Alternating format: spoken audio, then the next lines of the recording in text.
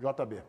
Eu já começo votando. Eu acho que está muito certo e a informação que eu tenho consegui confirmar junto à direção do Grêmio é que eles cortaram o, o direito de imagem. Os jogadores recebem o salário da carteira e não o direito de imagem neste momento. Tudo vai ser pago, mas depois que a pandemia passar, depois que o futebol vier. Então, normalmente, o salário da carteira é 60%, não é uma regra, mas é normalmente feito assim, 60% da carteira, 40% de direito de imagem. Eles vão receber, imagina, um jogador ganha 100 mil, ganha 60 mil e fica com 40 em haver, que será pago até o final do ano em parcelas eh, mensais, depois que o futebol voltar. Só que eu concordo, muito, tem que reduzir só faço mais um adendo. O que não pode acontecer, e espero do fundo do, do coração que isso não aconteça, o governo federal não tem que dar ajuda alguma para clube de futebol. Os clubes de futebol já são muito ajudados. Vou só dar um número aqui, um dado. O Internacional, e o Grêmio também, mas o Inter eu tenho um dado concreto, devia algo em torno de 150 milhões de dívidas fiscais até 2015. E para entrar no Profut, quando fizeram essa lei, caiu para 108 milhões a dívida, teve um desconto gigantesco e a prestação mensal que o Inter pagou no último mês foi 246. 200, 2, 246 mil reais. Tu tem uma dívida de 108 milhões, tu paga uma prestação de 246 mil. E o, o do Grêmio está na casa dos 300 também. Tá? A dívida do Grêmio passa de 100 milhões, é até um pouco maior que a do Internacional, e paga uma, uma, uma taxa mensal para o governo de 300 mil. Isso é ridículo, Meneghete. Bagé. Bom, eu penso que vai ser natural a redução, né? Tem até grandes clubes da Europa aí que os jogadores do Barcelona, por exemplo, capitaneados pelo Messi, estão abrindo mão de 70% dos salários para que os outros funcionários possam receber. É claro que nem todo mundo é Barcelona, nem todo mundo é Real Madrid.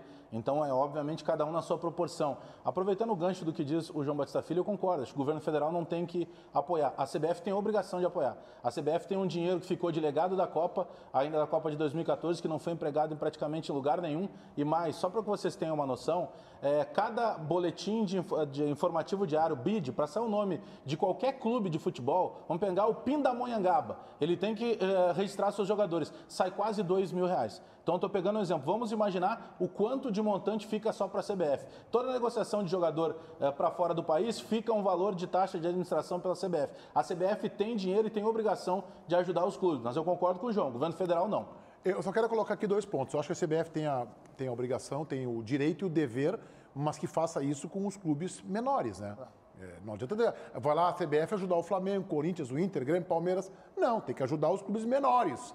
Né? Os clubes que estão realmente numa situação financeira muito mais perigosa que os grandes clubes. E o segundo aspecto, eu também não quero ver clube reduzindo o salário de jogador e contratando, especulando, tentando fazer contratação. Aí não, aí eu não concordo. Então os clubes têm que ter também responsabilidade na gestão. Quer dizer, reduz aqui, não, mas está contratando, está tentando trazer jogador para reforçar o seu elenco. Isso é contraditório e acho que inaceitável. O Tiger Junk quer participar e quer complementar as informações nesse sentido. Diga lá, Tiger, boa tarde. Boa tarde, boa tarde, Beneguete, Bagé, JB, todo mundo que está nos acompanhando aqui no Donos da Bola. A respeito disso que o Bagé trouxe, da possibilidade da CBF ajudar os clubes nesse momento de paralisação por conta da pandemia, tá? É algo que é trabalhado com pouca possibilidade, principalmente pelos clubes aqui do Rio Grande do Sul. Durante este fim de semana, a gente entrevistou no Domingo Esportivo Bandeirantes diversos presidentes de clubes do interior que estão em contato tanto com a CBF e aí alguns presidentes, inclusive, que estão em divisões menores do Campeonato Brasileiro, quanto em contato também com a Federação Gaúcha, que faz esse papel eh, de intermediar essas negociações.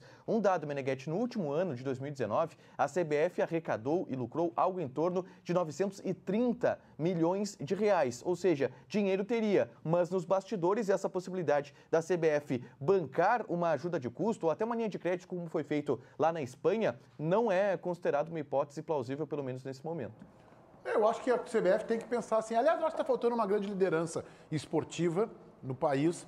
E acho que os clubes vão ter que. Vamos, vamos relembrar lá, Clube dos 13 muito bem presidido pelo ex-presidente gremista Fábio Koff. É, criação do Clube dos Três. Talvez seja a hora dos clubes se unirem através de ou de uma liga ou de uma entidade paralela, talvez não precisa nem ser oficial, para ajudar a construir isso, esse novo calendário, esta relação com os atletas, para ajudar a CBF. Já que o Rogério Caboclo, pelo menos no meu entendimento, não tem esse tamanho para orquestrar isso. Eu não estou dizendo que ele é incompetente ou que ele é mal intencionado, não é isso. Mas ele não tem esse tamanho, não tem uma vivência grande de mundo esportivo para, neste momento, assumir isso e assim, não, o futebol vai se organizar desta maneira. Eu acho que a CBF deveria fazer isso. É, é simples. A, a, conta que fez a Comebola foi perfeita. A Comebol disponibilizou 60% das cotas que os clubes tinham para disputar na primeira fase. Eram mais 2 milhões de dólares para cada um, é 1,2 para cada, neste momento, dá 6 milhões de reais, que ajudam e muito no pagamento das despesas. Ela não vai entregar tudo, porque ela também sabe que alguns clubes vão pegar tudo e vão fazer o que, que o Meneghetti surgiu, é, sugeriu. Vai sobrar dinheiro, vai estar contratando o jogador. Não, dá o máximo que puder para eles se sustentarem, pagarem os salários, e é isso que deveria. O Grêmio Internacional ganhou na média de 5 a 7, quem sabe perto do 8, dependendo é, da, da, da, da exposição da marca de TV e tal, mas é, entre 5 e 8 milhões por mês da televisão. Talvez não, não, não receba tudo isso, tá? Para jogar o Brasileirão. Mas já adianta, vai, vai dando 2, 3 milhões por mês agora, nesses próximos dois meses que não deveremos ter bola, para os caras poderem pagar salário, porque a conta do Beira Rio é alta, a conta da Arena é alta, todo mundo vai pagar. Aliás, os caras da Arena que estão ferrados, né? Da Arena, da gestora do estádio. Dos shows, né? Não, acabou o show, acabou o jogo, não tem bilheteria, não tem nada. E só para, por exemplo, para manter um estádio como a Arena funcionando, a, o preço, em média, segundo palavras do presidente Romildo, aqui na Rádio Bandeirantes, é de 900 mil mensais.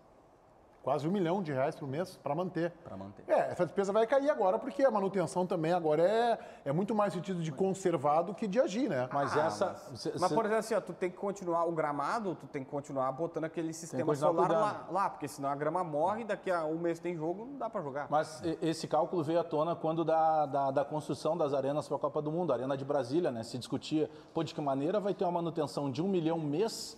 Não dá para colocar, por exemplo, o show da Madonna todo mês lá para que possa ter eh, esse caixa para ter o fluxo. Agora, voltando à questão da CBF, a CBF, pelo menos, o Meneghetti, se não for com o Rogério Caboclo, que seja com uma outra figura conhecida, ou com. Daqui a pouco tem um presidente Novereto, que é um cara que, que tem uma vivência e tem um marketing maior do que o próprio Caboclo, que é um dos vice-presidentes da CBF. O que está faltando, Meneghetti, é a atitude. A CBF é quem mantém, é quem dá a diretriz, é quem cuida do futebol brasileiro. E nesse momento de crise, a gente só não ouve uma participação, a da CBF. Todos os clubes estão vindo ah, a, a público manifestar o que, que podem fazer. O Fortaleza está sendo exemplo, o Bahia está sendo exemplo na maneira de administrar futebol vindo do Nordeste, a CBF não aparece ninguém. Eu